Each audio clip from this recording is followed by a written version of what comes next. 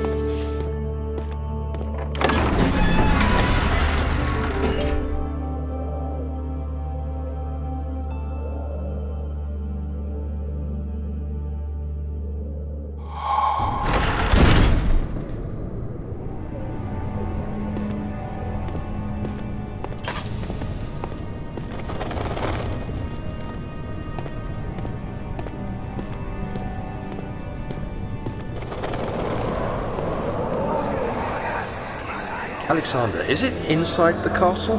In a manner of speaking. Come, bring the lamp. You've been to the refinery, have you not? I don't believe I have. Is it connected to the... what did you call it? The inner sanctum. My most precious chamber, Daniel. And it lies well beyond the refinery. In fact, it lies beneath the very stone of Brennenburg.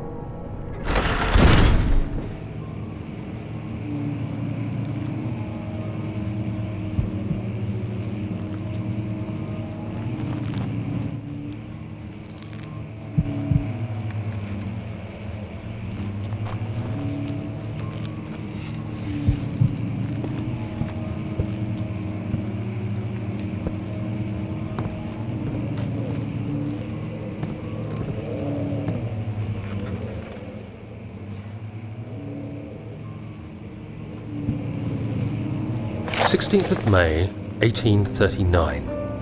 The unflinching African sun has continued to plague our expedition, making it impossible to dig until dusk.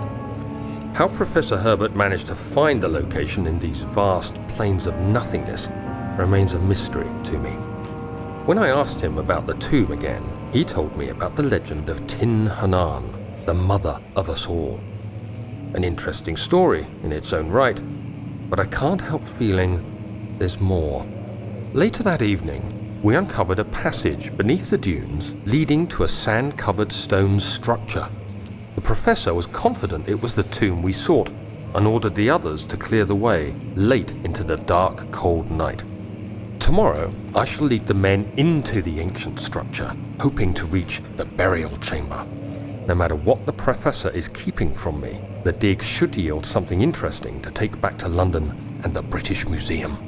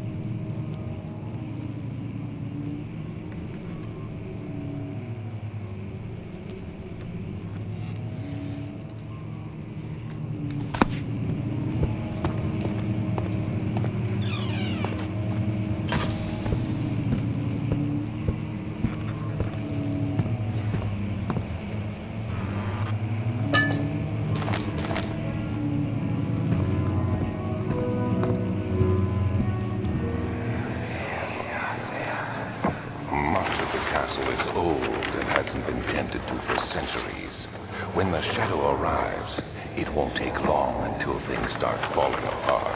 We're just buying time anyway. Let's do what we can. There isn't much to be done about wars. We should reinforce weak structures.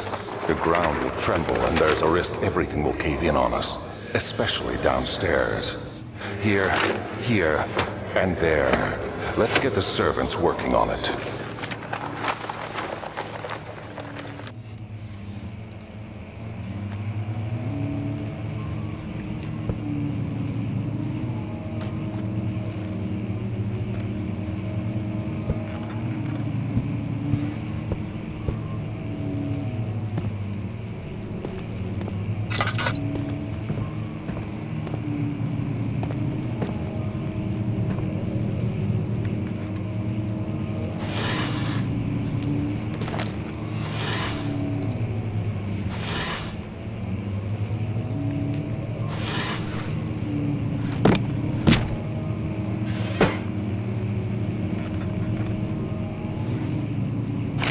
Seventeenth of May, 1839. My hands tremble as I write. I feel a need to document my tribulation, for I fear that my memory will fail me if I linger. Today, I took some men and ventured into the dark, ancient passage we uncovered. Our torches burned faintly in the murky air as we slowly made our way underground. The men were superstitious and fearful. They argued loudly, and I felt their strange language getting to me. I mustered my strength and yelled at them to continue down the slopes and broken steps. The crudely carved passage confused me. It looked much older than the 4th century structure we had expected. The twisting path emerged into a great antechamber. The walls were lined with statues unlike any I'd ever seen. Despite their unearthly quality, I felt a strange familiarity toward them, which haunts me still. At the far end of the chamber, a great slab of stone sealed off whatever lay ahead. I gave the order to raise it, and as I pushed through the narrow space, the heavy stone suddenly dropped, sealing me inside. I was trapped.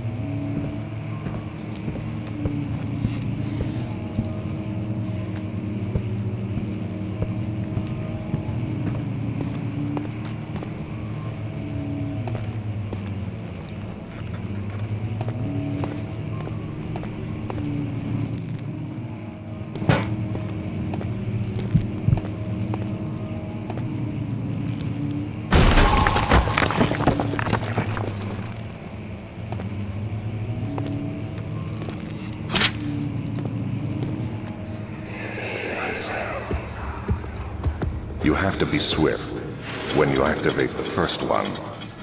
You hear that? If it stops, you'll have to start over. Isn't all this a bit excessive? You can never be too careful, Daniel.